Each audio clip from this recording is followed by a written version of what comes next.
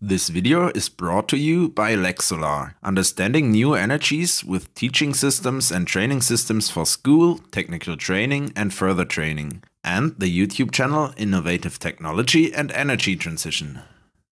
Photovoltaic systems, PV systems for short, are the most important renewable energy source in Germany alongside wind power. 2020 45.1 terawatt hours of PV electricity was generated in Germany, which is around 9% of the total electricity generation. The biggest criticism of PV energy is its heavy dependence on weather, which is not always sunny in Germany, and the resulting strain on the electricity grid. By the end of this video, you will have understood to what extent this criticism is justified and what can be done about it.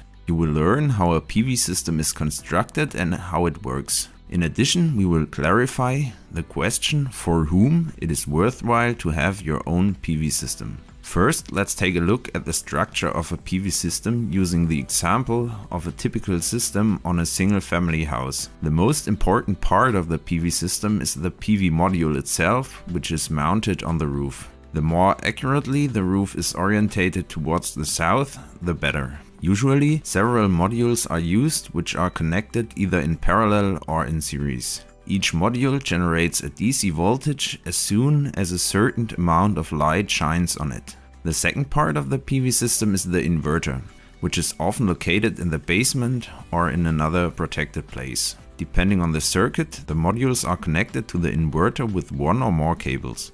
In larger PV systems, several inverters are used. The inverter is necessary to feed the direct current of the PV module into the 50 or 60 Hz AC grid in the house.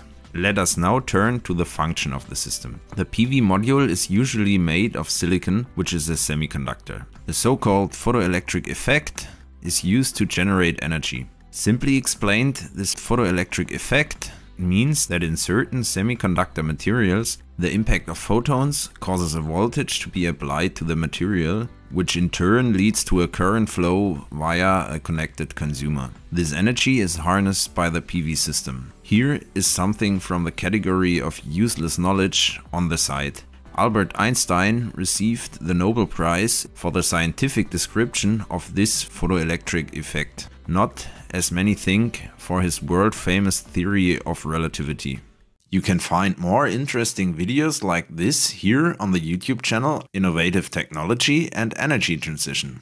You want to understand new energies or teach them to others with teaching systems and training systems for school, technical training and further training? Then check out the LEXsolar homepage now.